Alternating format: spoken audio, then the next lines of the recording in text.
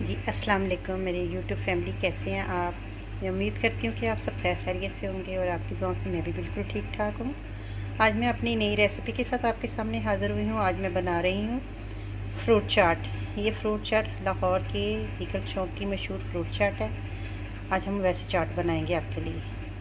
इसके लिए मैंने जो लिए हैं इंग्रेडिएंट्स वो हैं केले हैं, सेब हैं ऑरेंज का हम ये जूस बना के डालेंगे, इसमें अंगूर है, अनार है और ये चने, छोटी प्याली सी और इमली की चटनी, आलू बुखारे की चटनी। ये हमारे पास चीनी है, जो हमारी जहाँ चीनी बारीक होती है। चीनी और ये तैयार करते हैं।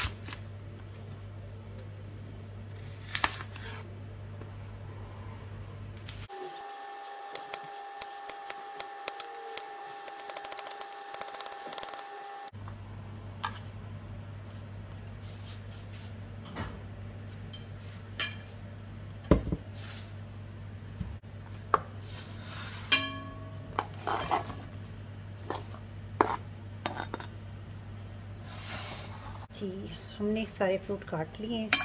इसमें मैंने तीन केले डाले हैं और डेढ़ सेब काटे हैं। अब इसके साथ हम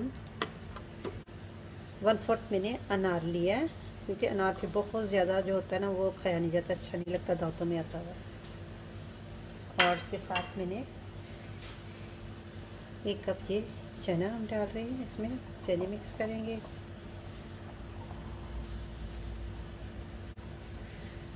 अंगूर मेरे बड़े हैं। अगर आपके पास अंगूर छोटे हो तो बेहतर है, नहीं तो अगर आप चाहो तो इसको काट के भी डाल सकते हो, लेकिन मैं इसको इसी तरह इसमें ऐड कर रही हूँ।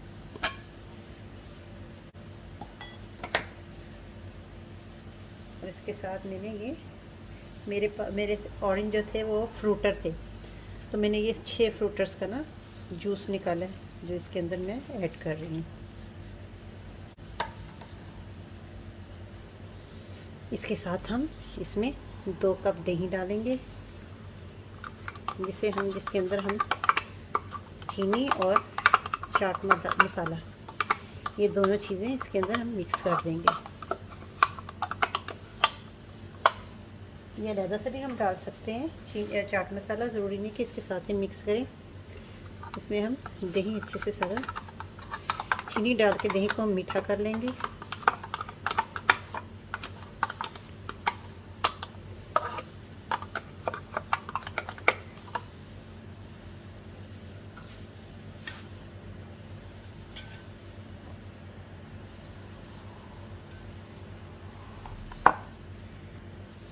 इसके अंदर हम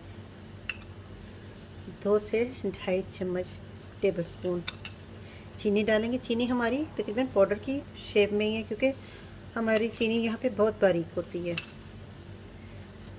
अगर आपके चीनी मोटी है तो आप उसको पाउडर बना के डाल सकते हैं। मैंने दो से तीन चम्मच इसमें चीनी के ऐड कर दिए। अब इसको हम अच्छे से मिक्स कर लेंगे।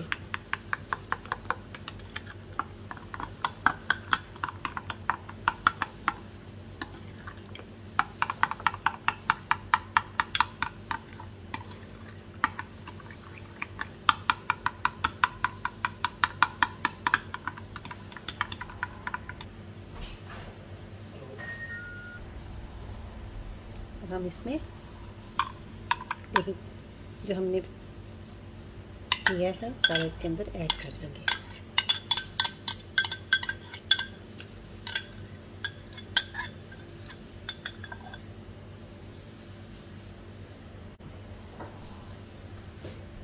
इसके साथ, इसके ऊपर हम तकरीबन हाफ़ टी स्पून हमने इसके अंदर नमक ऐड किया है।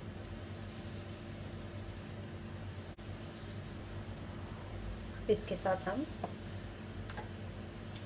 खुबानी की चटनी जो मैंने खुद तैयार की हुई है। इंशाल्लाह मैं जल्द ही आपको इसकी रेसिपी भी ज़रूर दिखाऊँगी। ये हम इसके ऊपर इसमें ऐड कर देते हैं। तकरीबन दो से तीन चम्मच हमने इसमें खुबानी की चटनी ऐड की है।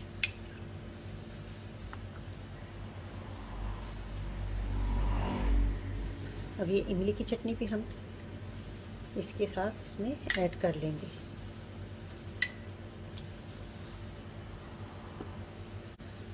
इसके साथ अब हम इसमें स्प्रिंग करते हैं मिक्स करेंगे। ये आपके अपने टेस्ट पे है कि आप लाइट खाते हैं कि ज़रा तीखा लेते हैं मसाला। उसके हिसाब से आप इसके अंदर मसाला ऐड कर सकते हैं।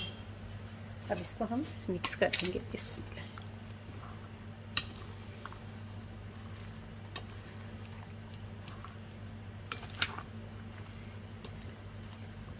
ज़बरदस्त, मज़ेदार खुशबू के साथ ये चाट तैयार है।